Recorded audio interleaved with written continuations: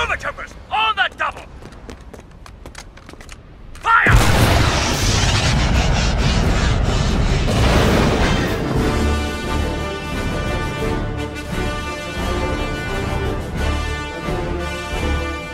Hey guys, this is Luke from the Scoundrels Cantina, and welcome to another video. In this video, we'll be going over all Star Wars Episode 3 Revenge of the Sith trooper types and variants. Revenge of the Sith is the richest Star Wars movie regarding the background details which are present all the time, especially regarding the vehicle and character designs.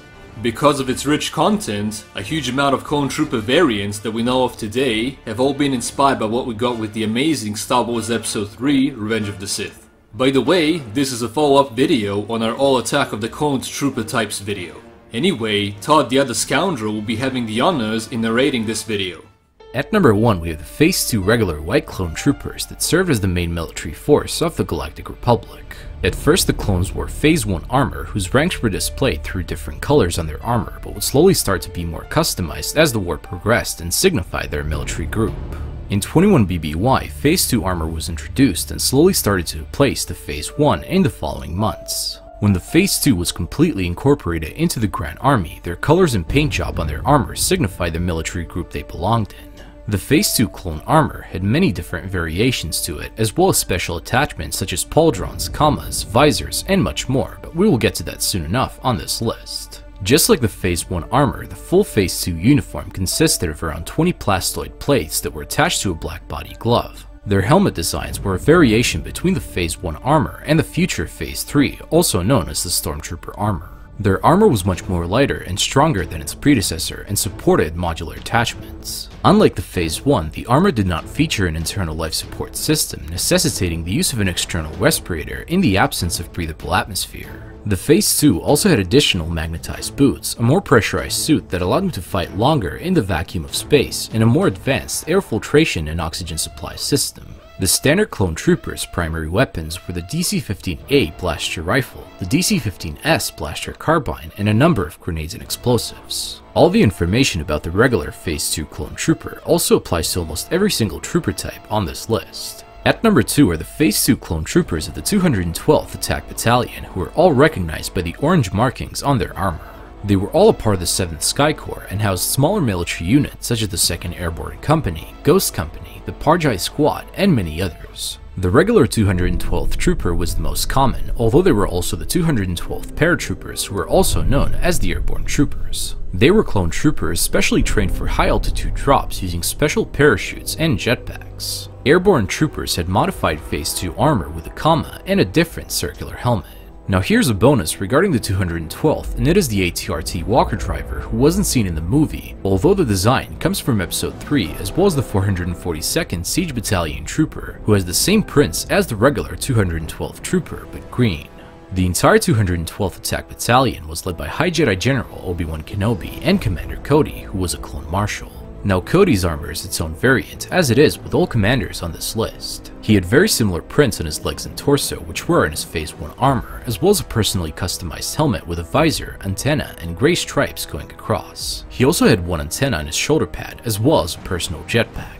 At number 3 we have the Phase 2 clone troopers, the 41st Elite Corps, and the 9th Assault Corps. The reason for it is that they're basically the same thing with two different names. The 41st regular clone troopers featured green armor markings when they were wearing Phase 1 armor, although with Phase 2 armor, they are seen with light gray printed armor for some reason. When on Kashyyyk, their regular troopers were either considered scout troopers for some reason, or the 41st and 9th simply sent their specialized clone scout troopers to fight on Kashyyyk. No matter which it is of the two, they obviously wore Clone Scout Trooper armor, which had even more advanced plastoid armor and was camouflaged in order for them to blend into swamp-type environments. The Scout Trooper helmet had wider visor plates, and the entire Scout armor was a predecessor of the Imperial Scout Troopers. The 9th and the 41st also had ARF Troopers who were known as AT-RT drivers in their Phase 2 armor, which were seen on Kashyyyk. AT-RT drivers wore lighter clone armor for stealth that had smaller shoulder pads and a specialized helmet. They were better trained in survival skills in comparison to other clones, and were specialized in riding AT-RT walkers as well as going on reconnaissance missions. The 41st Elite Corps and the 9th Assault Corps were led by Jedi General Luminara Unduli and Clone Commander Gree. Commander Gree's Phase 2 armor was most likely almost the same as his Phase 1 armor, which featured green markings, although in Revenge of the Sith, we see his other Phase 2 armor, which was specialized for scouting missions and camouflage to suit the swampy environment. Gree was the only clone in the 41st and 9th Corps that had a regular Phase 2 clone helmet type on Kashyyyk. At number 4, the Phase 2 clone troopers of the 21st Nova Corps, also known as the Galactic Marines, who wore white and purple colored armor. The Galactic Marines were an elite unit of some of the toughest clone troopers in the entire Grand Army of the Republic, and were part of the 4th Sector Army. Their armor was designed for harsh environments and resembled the ones of the clone snow troopers seen during the Clone Wars, as well as the future Galactic Empire snow troopers being their direct predecessor. The 21st Nova Corps troopers had additional backpacks on them, as well as the most unique looking Phase 2 armor in the entire Grand Army. They were led by Jedi General Ki-Adi-Mundi and Clone Commander Bacara. the Galactic Marines commander mostly utilized regular Phase 2 armor, although with a lot of personal adjustments such as the blizzard protection sight plates on his helmet, as well as an anti-blast kama and a pauldron that matches Corps' colors. At number 5 we have the Phase 2 clone troopers of the 327th Star Corps, who were recognized by their yellow colored armor, as well as that they always utilized pauldrons, kamas, and ammo belts, which was usually only seen with clone commanders and captains. Units that were within the 327th were the 7th Legion, the 101st Regiment, the Hawkbat Battalion, and many more. The 327th Star Corps was led by Jedi General Aayla Secura and Commander Bly, who was a clone marshal. Commander Bly's armor was very similar to that of his troops, although it had different yellow color schemes in his torso, legs, and helmet.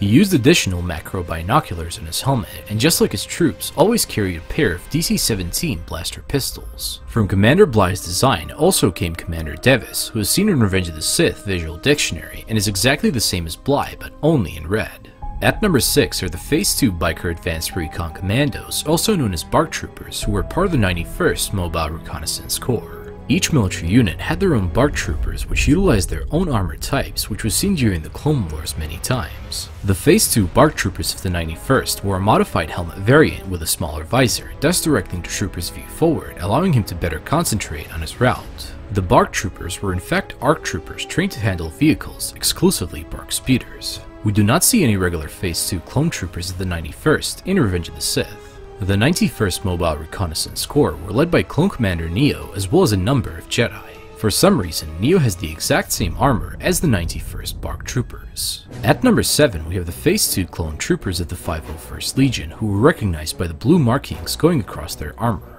By the way, they are definitely our favorite Phase 2 trooper types. The 501st Legion fought in countless battles during the Clone Wars and made a big name for themselves in the Grand Army of the Republic. They were led by Jedi General Anakin Skywalker, and clone Captain Rex. When Order 66 was issued, Rex defected, thus going into exile, and was replaced by Commander Appo. The 501st Troopers in Episode 3 are basically what we covered as number 1 on this list, but just with different colors. At number 8 are the Phase 2 clone troopers of the Coruscant Guard, who were recognized by their armor being mostly covered in red. They were trained as elite shock troopers specifically for deployment on the planet Coruscant, where they basically served as law enforcement. They guarded government buildings, served as prison guards, performed duties as bodyguards for Republic officials, and were trained as urban peacekeepers. Their leader was Commander Fox, as well as Commander Thire, although they had a few more commanders here and there, such as the Badass Thorn and Commander Stone. Pretty much everything about the Shock Trooper armor was covered at number 1 on this list. At number 9 we have the Phase 2 clone pilots, although we like to call them Phase 3 because in the Clone Wars there was a variant utilized between the Phase 1s and the so-called 2s. The Phase 1 clone armor was worn up until 21 BBY when the Z75 headhunters were in mainstream use, with which the Phase 2 came. The Phase 2 would be replaced around 20 BBY when the ARC 170s came into mainstream use, which brought the Phase 3 that we see in Revenge of the Sith. The Phase 3 pilots had a helmet that wasn't fully enclosed unlike the previous versions, and it didn't come with full body armor, but instead a pressurized catsuit. Clone pilots were randomly picked from the clone army and were equipped with a boltcaster, a blaster pistol, a supply dispenser, and ammunition. Pilots also had a box attached to their chest armor that supplied oxygen to their helmets. V-Wing starfighter pilots would have exactly the same design as the Phase 3 pilots, except that their helmets were fully enclosed and resembled the Galactic Empire's future AT-AT drivers. And finally at number 10 are the two honorable mentions that we wanted to add, which are the Coruscant Rescue Ops and the clones that were disguised in Jedi robes. The Coruscant Rescue Ops were not really a trooper type, although they had clones serving in them. They basically served as emergency rescue, cleanup, and firefighting crews on the Republic capital of Coruscant, as well as aboard Republic warships. Their uniforms were of course radiation and fireproof, and they were seen piloting fire speeders during the Battle of Coruscant. Now on the other hand, we have the clones that were waiting to ambush Jedi that came to the temple, which were basically regular troopers disguised in Jedi robes and mind wiped due to Order 66. They are seen in deleted scenes of Episode 3. Anyway guys, this is it on the video and we hope you enjoyed it and learned something new about the vast galaxy of Star Wars. If you want to watch more videos like this one, the link to the playlist of our other Star Wars stories and videos will be in the description down below. Also, if you want to support this channel, hit that subscribe button for even more videos like this one and remember guys, God is awesome, may the force be with you always, and we'll see you in another video, you rebel scum. This party's over.